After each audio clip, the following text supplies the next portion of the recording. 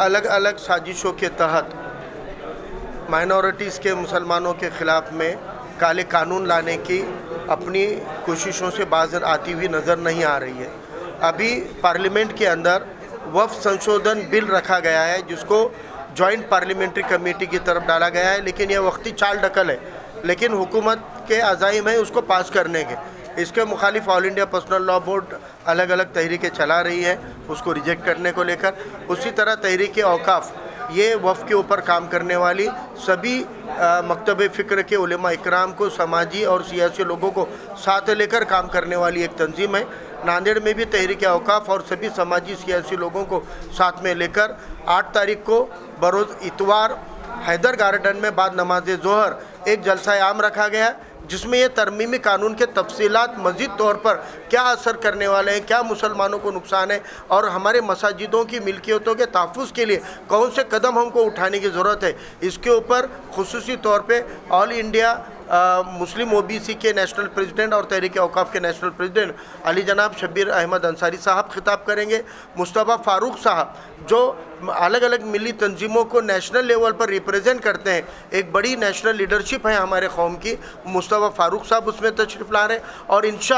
नांदेड़ के जो आलिम दीन हैं, मुफ्ती खालिद शाकिर साहब, मुफ्ती साद अब्दुल्ला साहब, मौलाना अजीम रजवी साहब, मुफ्ती अली जनाब यूसुफ साहब, ये तमाम मकतब फ़िक्र के उलमा इकराम भी वहाँ पर ख़िताब करेंगे नौजवानों को, दीनी दीनी नुक़ नज़र से भी और दुनियाई और क़ानूनी नुक़ नज़र से भी दानश्वर हजरात, बताएँगे कि ये बिल हमारे ख़िलाफ़ क्यों है? एक आम मुसलमान की क्या ज़िम्मेदारी है? इसलिए हमारी अपील है कि आइमा मसाजिद, मस्जिद कमेटी के ज़िम्मेदारान और समाजी, सियासी तौर पर काम करने वाले तमाम मुसलिम नौजवान और ख़ास तौर से जो हमारे अलग अलग शोबों में, पेशे में काम करने वाले वकील रहे, प्रोफेसर रहे, डॉक्टर्स रहे लेक्चरर रहे, टीचर्स रहे, ये तमाम पेशे में काम करने वाले तमाम एक्टिव लोगों से मेरी गुजारिश है कि बरोज़ इतवार हैदर गार्डन में बाद नमाज़ जहर जलसा आम में शिरकत करें और बरोज़ पीर नौ तारीख को कलेक्टर ऑफ़िस पे एक नज्म ज़ब्त के साथ में धरना आंदोलन रखा गया। उसमें आधे घंटे का वक्त निकाल के क्यों ना हो, लेकिन आप ज़रूर शिरकत करेंगे। दो बजे के बाद जहर बाद जहर के धरना चालू होगा और इन चार बजे तक इसको, इसका अख्ताम होगा। इसलिए सबसे गुजारिश है कि आधे एक घंटे का वक्त निकाल कर धरने में अपनी मौजूदगी दर्ज कराएँ। आप लोगों से यही गुजारिश करना चाहता हूँ कि हमारे आपसी इख्तलाफात को ज़्यादा उजागर ना होने दे और ये जो मसला अहम आया हुआ है तरमीमी बिल का, इसके डीप में अगर हम जाएँगे तो इसके जो नुकसान है, वो हमारी कौम आने वाले दिनों में बर्दाश्त नहीं कर पाएगी। क्योंकि आज तक मुसलमानों को आज़ादी के बाद से कुछ भी नहीं मिला। जो भी हमारी ज़मीनें थी, उस पर भी काफ़ी नाजायज़ कब्ज़े हुए सभी ने बताया। लेकिन अब जो भी बची है, उसके लिए लड़ना है तो मुतहद होकर ही लड़ना पड़ेगा। आप लोग यहाँ आए मैं बहुत ही एहसानमंद हुआ आपका कि आपने बेदारी का सबूत दिया और इस मसले को जो है आप काफ़ी लोगों को रोशनास कराए ताकि जो है कल का जो प्रेस कॉन्फ्रेंस है प्रेस हाँ और जो उसके बाद में जो है धरना है एहतजाजी धरना उसमें कसीर तादाद में लोग शिरकत करें। जैसा फारूक भाई ने अभी बताया कि भाई उसकी नोंद बराबर होती है। आपकी मुखालफत की नोंद बराबर होती है। जॉइंट पार्लियामेंट्री कमीशन के पास बिल गया, इसका मतलब ये नहीं है कि वो पास ही होगा, क्योंकि अल्लाह ताला के हाथ जो है इतने मज़बूत है, अल्लाह कब किसको गिरा देगा कोई बता नहीं सकता। आज जो हुकूमत के अंदर जो चल रही है गड़बड़ें इन ये बिल पास होने के पहले इनका तख्ता भी उलट सकता है। तो मैं बस इतना ही कहूँगा कि आप जो है भरपूर मदद कीजिए इस बिल को मुखालफत करने में। ताकि हमारा मकसद कामयाब मैं रहीम अहमद ख़ान, ज़िला अध्यक्ष कांग्रेस पार्टी से और मैं महाविकास आघाड़ी की तरफ़ से सबको अपील करता हूँ कि हैदरा गार्डन में और कलेक्टर ऑफ़िस के पास जो धरना रखे वाला है, उसमें शामिल हो सभी अवाम से और सभी दीन से और जो सोशल काम करने वाले हैं उन, उनसे भी अपील करता हूँ कि हैदर गार्डन में कल जोहर की नमाज़ के बाद से जो प्रोग्राम आयोजन किया गया है, उसमें शामिल हो।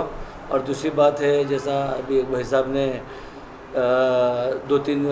इशू के बारे में बताया कि भाई, हमने ये ये धरने कर रहे और अपना कुछ काम नहीं हुआ। तो आज का सिचुएशन ज़रा अलग है। पहले अपोजिशन उतना मज़बूत आवाम की तरफ़ से नहीं था। अलहमदिल्ला अवाम ने पूरे इंडिया से, जो अपोजिशन दी है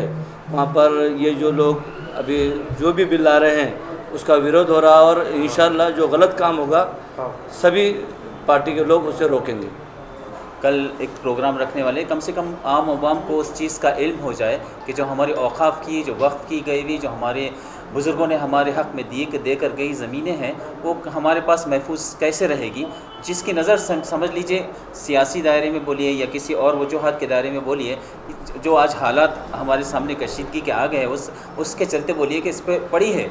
सरकार की जो नज़र पड़ी है, उसको हमको किस तरीके से रोकना है, उसको हमको किस तरीके से उस चीज़ की बेदारी हमारे लोगों में ख़ास तौर पर लाना है कि उस ज़मीन की, उस अवकाफ़ के दिए दिए हुए जो ज़मीनें हैं जिस पर हमारे दीनी, तालीमी या समाजी जो इदारे हैं वहाँ पर और इन और हो सकते, उसकी हम कैसी हिफाजत करें, उसको हम कैसे महफूज रखें, या आम आवाम में बेदारी आना ज़रूरी है, जो सभी नांदेड़ के आवाम से अपील करता हूँ कि वो नांदेड़ के जितने दानश्वर लोग हैं, वो यहाँ पे हैदर गार्डन के अंदर कल इतवार दो बजे वहाँ पर पहुँचे। यहाँ पे वक्त बोर्ड के जो खिलाफ जानबूझकर जो ये साजिश की जा रही है मुसलमानों को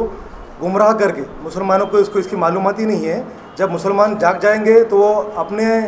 संरक्षण खुद कर पाएँगे। इसीलिए मैं अपील करता हूँ कि कल इतवार के दिन, आठ तारीख के दिन दो बजे हैदर गार्डन में पहुँचे और नौ तारीख के दिन कलेक्टर ऑफ़िस के पास धरने में शिरकत करें जैसा कि अभी हमारे फ़ारूक साहब ने तमाम तर तफसीलात कल के प्रोग्राम की रखी है इस प्रेस कॉन्फ्रेंस के ज़रिए से तो मैं भी जमत ज़िला नांदेड़ की आदिम होने की हैसियत से और इस तहरीक अवकाफ़ से हम भी जुड़े हुए हैं पिछले पाँच सालों से। तो उस जानब से भी मैं ये अपील करना चाहता हूँ कि कल जो होने वाला प्रोग्राम है वक्फ तरमीमी बिल के ख़िलाफ़, जिसमें मेहमान खसूसी शब्बीर अहमद अंसारी साहब, सदर ऑल इंडिया ओबीसी ऑर्गेनाइजेशन तशरीफ़ ला रहे हैं और इनके अलावा भी दीगर मेहमान रहेंगे। तो ख़ास तौर से मैं शहर के आयमा हजरात और मसाजिद के ट्रस्टियान कमेटी के ज़िम्मेदारान से मुतवलियान से अपील करता हूँ और अवामनास से भी अपील करता हूँ कि ज़्यादा से ज़्यादा तादाद में हैदर गार्डन के कल के इस प्रोग्राम में शरीक रहें। इसके अलावा बरोज़ पीर नौ तारीख को जो एहतजाजी धरना कलेक्टर ऑफ़िस के रूबरू मनद किया गया है, तहरीक अवकाफ़ की जानब से, इसमें भी ज़्यादा से ज़्यादा आवाम शरीक होकर इस बिल की पुरज़ोर मुखालफत करें और पूरी ताकत के साथ इस बिल के ख़िलाफ़ में एहतजाज करें।